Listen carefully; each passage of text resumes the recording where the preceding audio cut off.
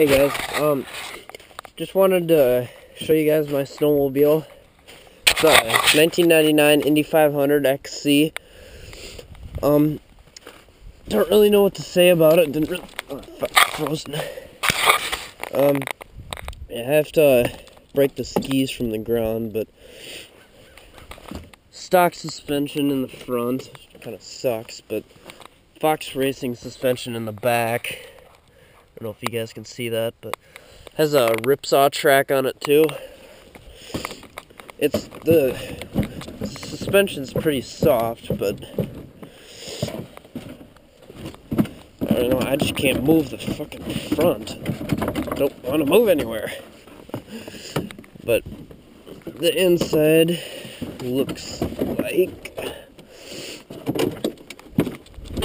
that. Looks like I need more fluids.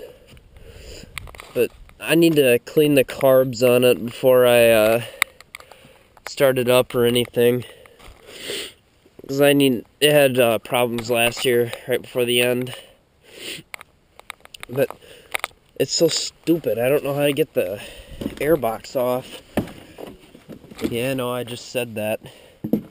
But seriously, look at this. Like, this this little uh, flab thing right there, like right under my finger, that will not come off. Like I took a screwdriver to it and it won't come off, and I have to get the airbox off in order to get to the carbs, which I can't do because the stupid airbox is on.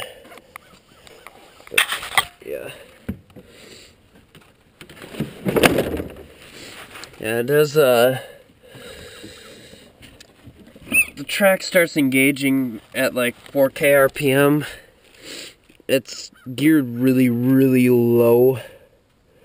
Has uh, 5,745 miles on it.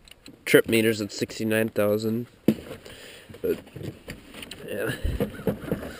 Motocross habit, I always ride like right back here. I always lean, use side to side movements. But, yeah, that's my, uh, 1999 Indy 500 XC. Needs a new windshield, but yep.